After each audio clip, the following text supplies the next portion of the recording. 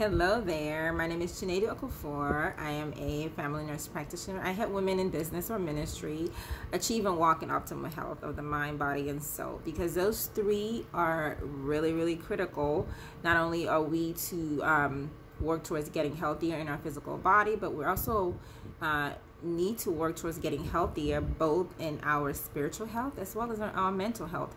And that's really, really important, especially right now uh, with so much going on. There's a lot of um, cases of of uh, mental health issues, uh, which has always been there. But I, I think with the pandemic and all that is going on right now, it is so, so much more critical that we take care of ourselves in those three areas, not only physically, but mentally and spiritually.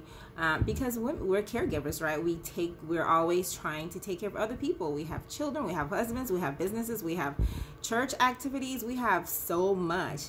And so, I mean, from my own personal story, I mean, I have not always taken care of my health because I was busy, just like you, right? Life happens, you get busy, and you're like, well, I'll take care of myself later. But it catches up on you.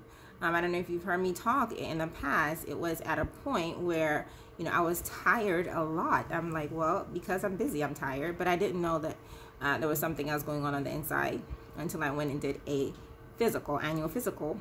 My blood work was crazy and so my doctor was like um, and you're still functioning? Uh, you, you you are still walking? So it hit me that i just have not really taken the time to take care of myself because i was too busy uh, taking care of other people. That happens a lot with women who are caregivers. So it is important because you want to be um, at your best health, best self, so that you can take care of those people that you're trying to take care of. Otherwise, if you break down, then well, that's also going to cause more problems. Then you won't have the time to not only enjoy your children, your family, and the things that you want to do.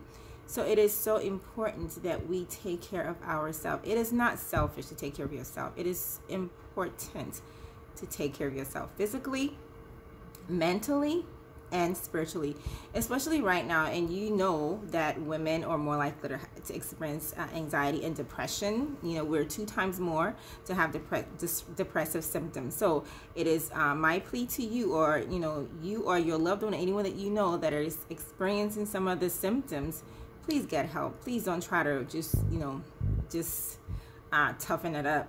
You know, get help. There's help out there. So um, seek professional help talk to a friend. So, my goal today is to say this to you. It is important to take care of your health. It is important as a caregiver, as a busy woman, as someone who thinks that is not important because you make time for it later. I want to remind you today that it is important. It is critical. Take time today for yourself.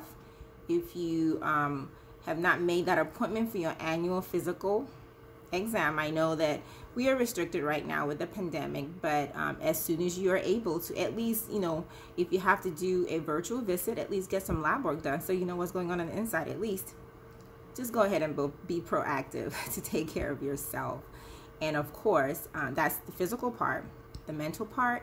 If you're having any signs or symptoms of anxiety, depression, please get help or anything else that you just think that you're just not thinking uh, like you used to think or feeling like you used to think please get help. And then the third part of the spiritual health is just um, make sure that you're connected to a church, a local body.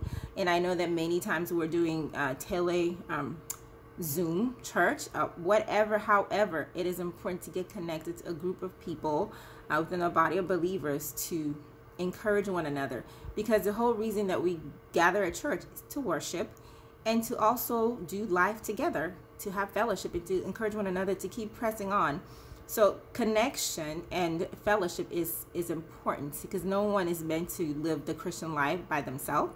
That's why God gave us the body, the church. So get connected with a church because that is so important for your spiritual health. Of course, reading your Bible and praying. Those spiritual disciplines are there to help us. But connecting with people is just as important. So I wanted just to remind you this video to take care, make it a priority to take care of your health, both physically, mentally, spiritually. All right, till next time. Ta ta.